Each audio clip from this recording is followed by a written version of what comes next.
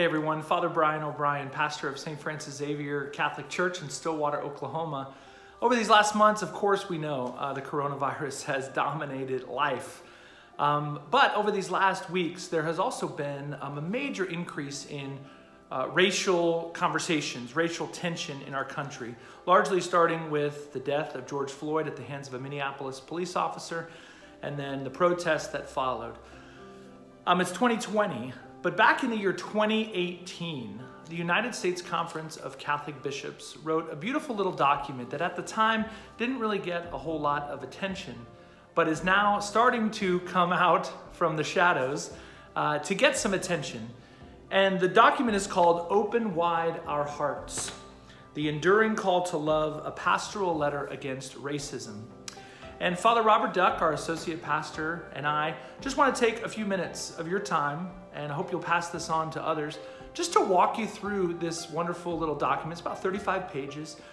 And it's not the first time the U.S. Catholic bishops have addressed the subject of racism. They've done it several times back in the 50s, back in the 70s, 80s, 90s, uh, multiple times.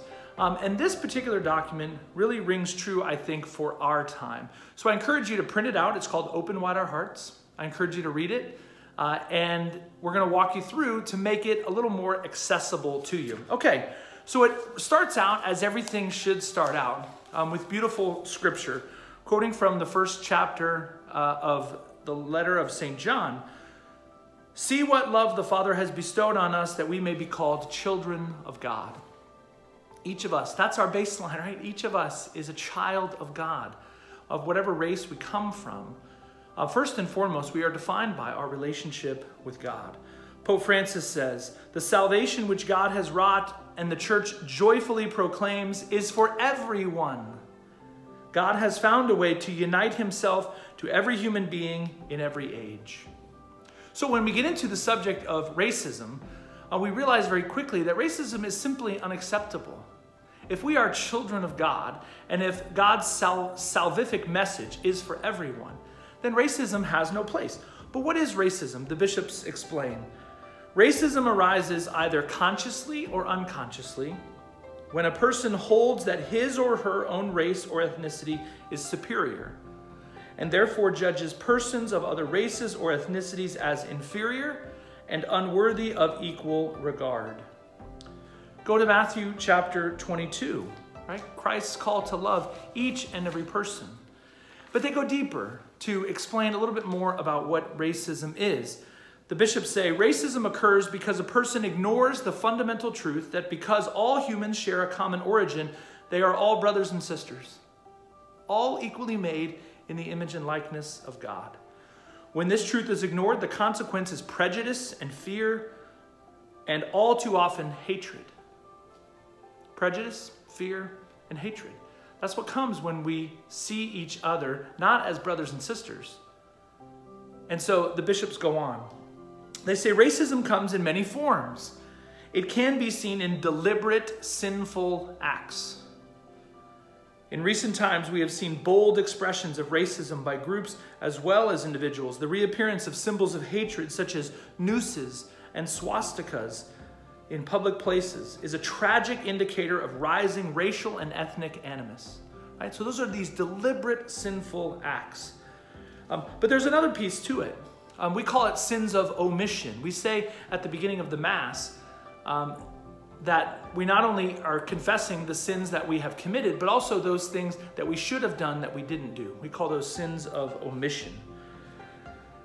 They say too often racism comes in the form of sins of omission when individuals, communities, and even churches remain silent and fail to act against racial injustice when it occurs. Okay? Racism can often be found in our hearts, and in many cases placed there unwillingly and unknowingly by our upbringing and culture. And so, this idea that racism is, is ingrained in us from when we are little we learn it from those around us. We learn it from our culture. And therefore, that racism can then be institutionalized. And we have to be very careful and we want to be very conscious as we watch to make sure that that doesn't happen. And if it does happen, that it is indeed corrected. And so the bishops go on. There's a whole lot here, and I'm just giving you the real highlights here.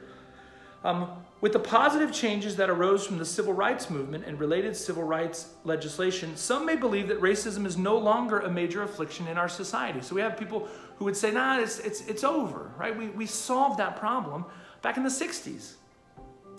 But racism, the bishops say, bishops, uh, but racism still profoundly affects our culture and it has no place in the Christian heart. No place in the Christian heart. This evil causes great harm to its victims and it corrupts the souls of those who harbor racist, racist and pre prejudicial thoughts. So it's not only bad for the person experienced the, in the racism, it's bad for the racist. If we have racism, if we are acting unjustly towards another person based on their race, it also hurts us. We got to be conscious of that. The bishops go on. What is needed and what we are calling for is a genuine conversion of heart. Right? This is the whole gospel message, right? The conversion of heart. In Christ, we can find the strength and the grace necessary to make that journey. Then the bishops go on and they quote a beautiful passage from the Old Testament. It's from Micah chapter 6, verse 8. And it says this You have been told, O mortal, what is good and what the Lord requires of you only to do justice, to love goodness, and to walk humbly with your God. And so then the bishops go on and they lay out those three to do justice, and what does that mean? To love goodness, what does that mean? And to walk humbly with our God. I just want to take a minute and talk to you about what does it mean to do justice. And then I'll turn it over to Father Robert and he'll take the rest of the way home. To do justice, the bishops say, for a nation to be just, it must be a society that recognizes and respects the legitimate rights of individuals and peoples. These rights precede any society because they flow from the dignity granted to each person as created by God. There are certain rights that are given to us not by the country in which we live, not by our, our elected officials, but certain rights that come to us from God. The right to justice. It goes on.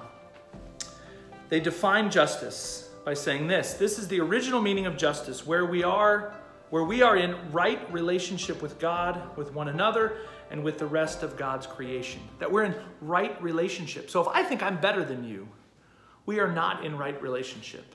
If you think you're better than me, we are not in right relationship. If I'm sinning on a regular basis, I am not in a right relationship with the Lord, and therefore not with you either.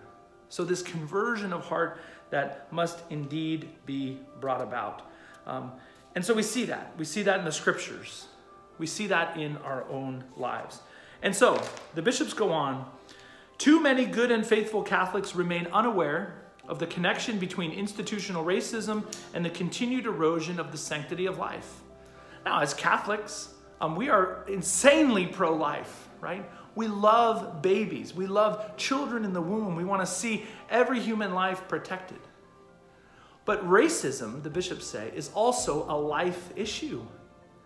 So to say I'm against abortion, uh, but I don't really care that much about racism, right, is not to be pro life. Right? Now, abortion is the primary issue, right? It is the, the greatest violation of the dignity of human life. Um, but racism is in there too. Racism is a serious sin that must be confronted in our church, in our society, and in your heart and in mine. And then finally, from my little part here, the bishops um, explain, try to get into the experiences of three different groups in the United States. And I really urge you to, to read this part especially. Um, they speak to the Native American experience in the United States. And they say this, before Europeans arrived, this land already had many diverse peoples upon it with varying customs, languages, and beliefs. We know this especially in Oklahoma, right, where Native Americans are everywhere, right? It's a big part of the culture here. But what did those Native Americans and their ancestors, what did they experience? Um, the bishops say that encounter was a harsh and painful reality for your peoples. And there's more there, and I really encourage you to read through it. So the idea that our Native American population um, has been greatly um, affected by the sin of racism. And then it goes into uh, a page or two on the uh, two pages on the African American experience. And this again, this is familiar to many of us. Um, we've studied it in history, but do we really know the depths of that history of slavery in this country? Now, some people say, well, there's been slavery in every country. Okay, yes, yeah, for the most part. That doesn't make it right that it happened here. And so, this beautiful section on the African American experience. And then it goes into the Hispanic experience. Again, something that maybe we know something about, but not something that we have studied necessarily in depth. So they go on to say, Many different groups of people have encountered in varying degrees the evil of discrimination, racial prejudice, and oppression that endangers the very fabric of American society.